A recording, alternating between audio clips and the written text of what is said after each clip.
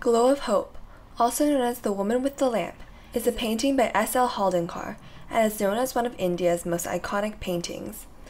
The work was created between 1945 to 1946 and is currently stored in the art gallery at Jagan Mohan Palace in Mysore, India. The painting is on display on the second floor of the museum in an enclave with a curtained window.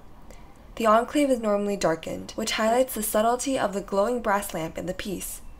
When light is turned on, the painting reveals remarkably subtle shades of pink and lavender in the woman's sari.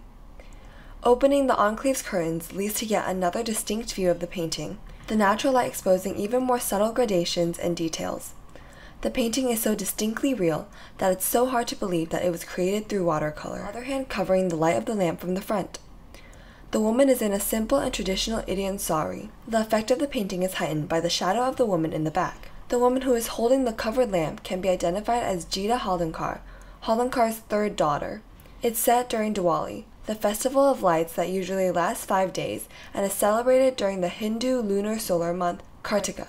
Haldankar saw his daughter in a beautiful sari with a candle and her hand woven around the flame of the candle to prevent the wind from blowing it out. The rays of the candle radiated from the gap within her fingers and illuminated her face. A captivated Haldankar decided to model a painting on this scene. The young woman had to hold her position for three hours continuously while her father painted this image.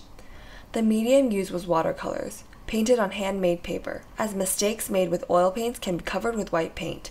Haldankar wanted to prove that he could paint without a single mistake through using the watercolor medium.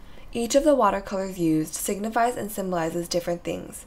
The lavender in her sari stands for grace, and the gold showcases the royal touch. The woman in the sari stands for grace, femininity, and natural beauty. The gravitating effect of the painting and the dramatic lighting by the flame makes her eyes fixated on the girl's face. There is a softness and yet affirmative gaze present through her expression, representing a transition from childhood to adulthood. The woman has her eyes fixed on the viewer, and we feel the hope that she radiates, representing an empowering Indian woman in the 1900s.